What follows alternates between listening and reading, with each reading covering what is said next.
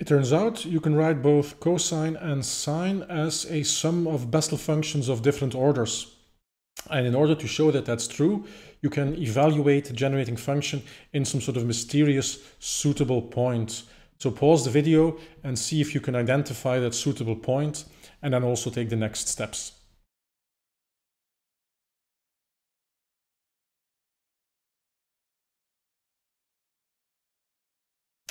Our generating function looks as follows. So we have exponential x over 2 t minus 1 over t. And then we need to show something about sines and cosines. So here we have an exponential, we have sines and cosines. What's the relationship between sines and cosines and exponentials? Well, obviously our friend Euler tells us that exponential jx is equal to cosine of x plus j sine of x. So looking at these two expressions over here, it's uh, quite logical that if you make a certain choice for t, um, that you can hope to sort of like turn this expression into that expression and therefore into cosine x plus j sine of x. So let's see what happens if we demand that these two things become equal. So they become equal if x over 2 t minus 1 over t is equal to jx. So after getting rid of the x, we can write this as t minus 1 over t is equal to 2j. And that becomes t squared minus 1 is equal to 2jt. So t squared minus 2jt minus 1 equal to 0. And that finally gives us t minus j squared is equal to 0. Indeed, the double product gives us minus j2t, and then minus j squared gives us minus 1. So if we substitute j for t in our generating function, we get something that's very promising to help us prove this uh, theorem. In case this was the hint that was missing, pause the video and take the next steps for yourself.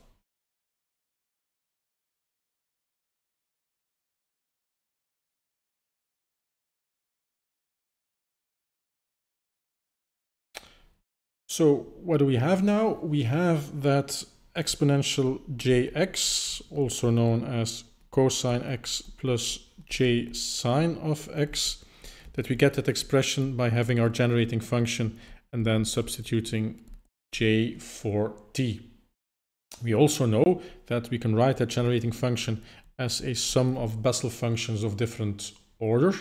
So a sum going from minus infinity to plus infinity of j and x, and then t to the power of n, that's going to be j to the power of n.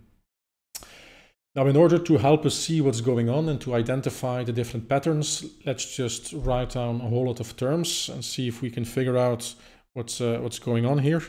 So let's make a small table where this is n, and then we calculate j to the power of n, and then also j sub n different uh, j of course, for different values.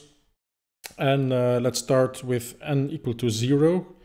Then we get j to the power of 0, that's 1, and then j0. So for n equal to 1, we get j and j1.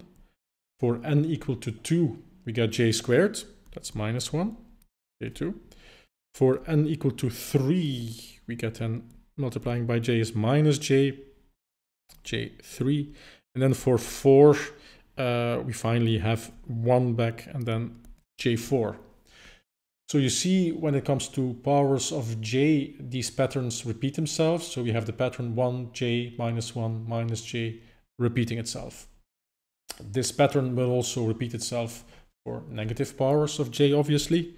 So if we now look at what happens for minus 1, minus 2, minus 3, and then minus 4, we have this repeating pattern 1 j minus 1 minus j and then for the Bessel functions we have j minus 4 but remember that we have this formula here where we have a j of a negative order is equal to a j of a positive order but multiplied by minus 1 to the power of that order. Now in this case, we have the order being equal to 4. So minus 1 to 4, that's um, giving us just 1. So j minus 4 is actually equal to j4. It's different for j minus 3, which will give us minus j3. But then here we have j minus 2 giving us j2, j minus 1 giving us minus j1.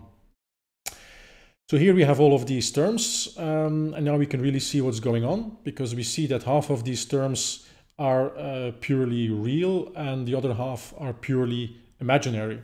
So let's have a look at the terms which are purely real first, and that will give us the contribution to cosine of x.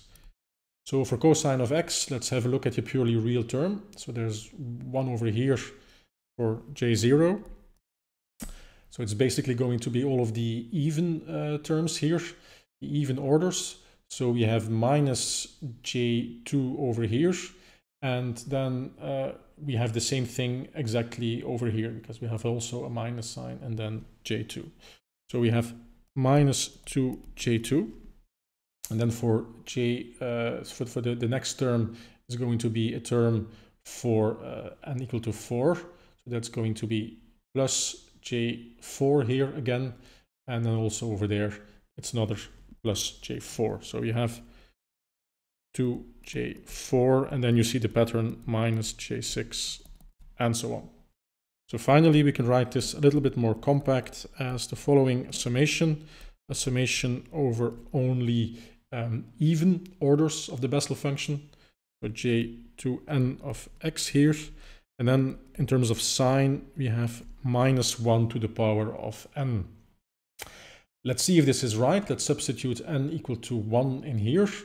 So for j2, we should expect a minus sign, and indeed minus 1 to the power of 1 gives us that, uh, that minus sign. So that's good news. We have the cosine taken care of. Let's now focus on the sine by having a look at all of the imaginary terms.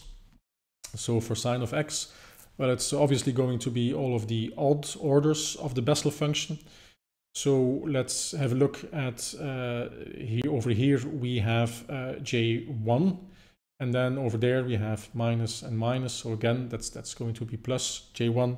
So we have two times j1. And then for j3 we have a minus sign over here and then another minus sign over there.